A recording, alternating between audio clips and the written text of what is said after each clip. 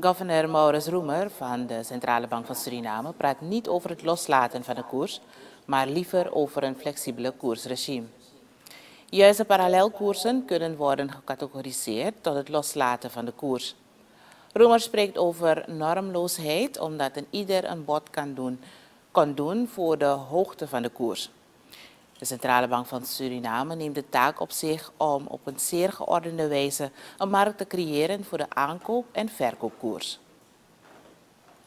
Dat houdt in dat we als bank de taak op ons nemen om op een zeer geordende wijze een markt te creëren waarbij de marktpartijen op een transparante wijze kunnen aantonen welke transacties zijn voltrokken, zowel wat betrekking tot de vraag en het aanbod, dus aankoop- en verkoopkoersen. En deze gerealiseerde koersen, die moeten worden gerapporteerd door partijen die zijn toegelaten tot die markt. En die markt voorlopig bestaat uit de cambiohouders en de banken. Die rapportages komen bij de bank en de bank gaat dan gewogen gemiddelde berekenen en een, een, een koersnotering doen en al dus bekendmaken.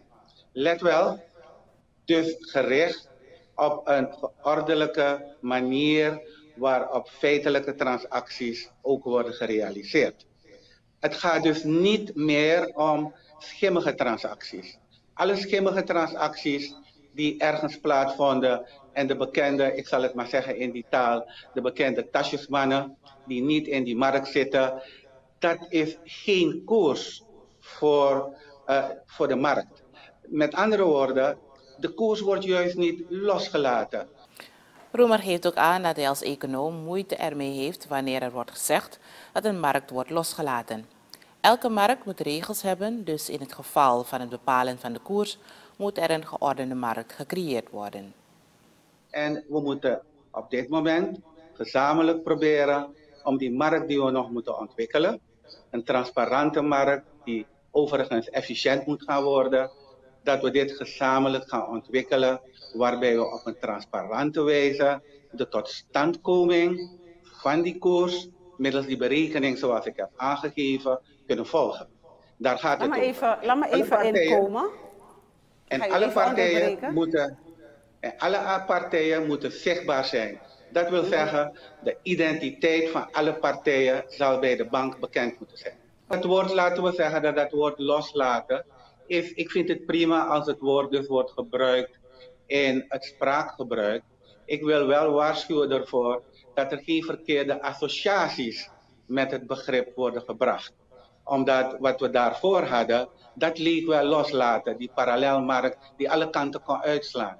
En de bedoeling is dat als er hier deviaties gaan ontstaan, redelijke deviaties in die markt, zal de bank kunnen interveneren. Daar gaat het over. Ik wil aan u en de kijkers nog het volgende melden, want dat is wel van belang. De, de koers die daar tot stand komt, het kan zijn dat die koers in de ogen van de bank, de centrale bank, overgewaardeerd of, of ondergewaardeerd is. De bank is in 2020 voor de eerste keer gestart met de berekening van modelmatige benaderingen om een koers te berekenen. Mm -hmm. Wij zullen dat blijven. Maurits Roemer, gouverneur van de Centrale Bank van Suriname. De moederbank zal ten alle tijden de samenleving erop wijzen wat de afwijkingen zijn tussen de marktkoers die tot stand komt via het vraag- en aanbodmechanisme en de berekeningen die de centrale bank modelmatig vaststelt.